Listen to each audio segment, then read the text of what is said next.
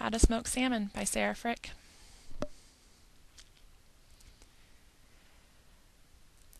We went fishing on the Kenai River this year in Kenai, Alaska for dip net season, July 2009. We caught a lot of red salmon. Uh, there's a lot of things you can do with your salmon. We vacuum sealed a lot of them fresh after we filleted them up, and a lot of them we decided to smoke.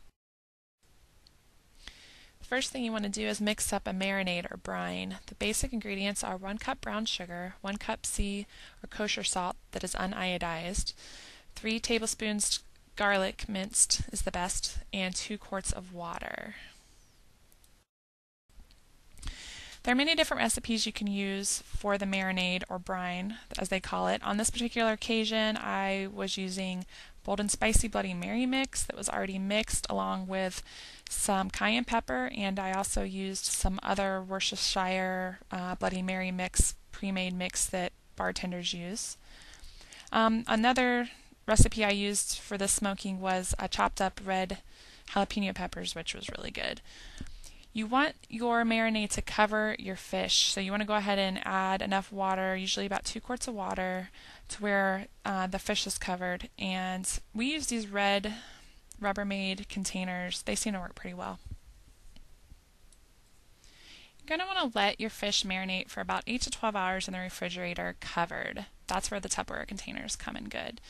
So when you're done, you want to just pour out your brine or your marinade into the sink or whatever you have available. You want to rinse off all the pieces with cold water. Go ahead and rinse off if they're going to feel a little slimy. Rinse off both sides. I like to put my salmon down with the skin up. It makes it a lot easier to get it off the rack after it's smoked. A little less mess. You want to leave it on the rack and let it dry out for about an hour, um, just to let it air dry before you start smoking it.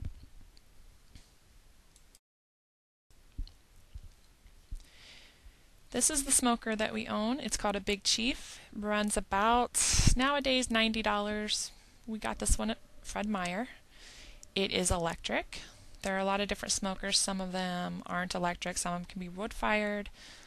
Um, it has a pan. You use wood chips for the smoking. I like to use alder chips.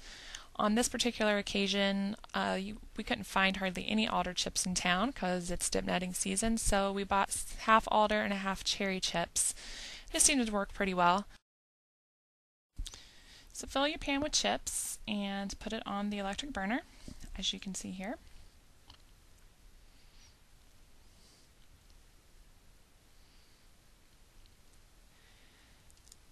Stick your racks of salmon in after they've dried out for about an hour.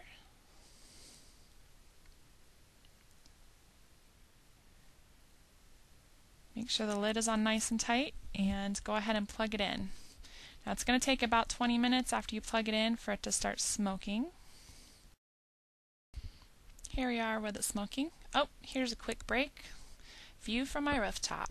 Mountains, Anchorage Hillside, Alaska's a pretty nice place to live. BP Energy Building, Midtown on Anchorage. Anyways, here we are with it smoking. Um, it's going to start smoking after about 25 minutes. The formula I like to use is the first three hours of smoking, put a new pan of chips in in every hour. Then every two to three hours, put another pan of chips in. For up to eight hours, some people go up to 10. I like to keep it at around eight hours total. So here we are in the middle of the night, checking on the salmon. It's starting to look pretty good. Skin's starting to look pretty golden. It's dedication, people, middle of the night. You want to just pour out your ashes. Don't go ahead and put chips over the ashes. Pour out the ashes, put a new pan in. This is towards my last pan here. After your last pan is smoked for about an hour, you want to go ahead and unplug the smoker and let it cool down for an hour. Here we are a few hours later in the wee hours of the morning. Taking my salmon out. Some people like to let it cool outside of the smoker. I prefer to go ahead and take it inside and get it going and get it packaged up. It's a lot easier to get off the rack that way. Here's our final product. Looking pretty good. Nice golden skin on the outside. Check out the inside. Looks pretty good. Looks moist, not too dry. Some people like it more done, more like jerky. I like it about this consistency.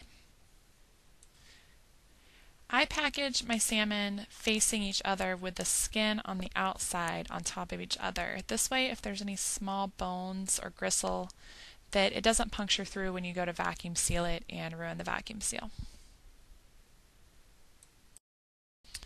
Small tip, place a towel underneath your package when you go to vacuum seal. This way it provides somewhat of um, a lift for a stage so that you get a better seal. You also want to hold the sides of the package as it seals. Um, just keep it pulled out. Better chance that it's not going to ruin the seal.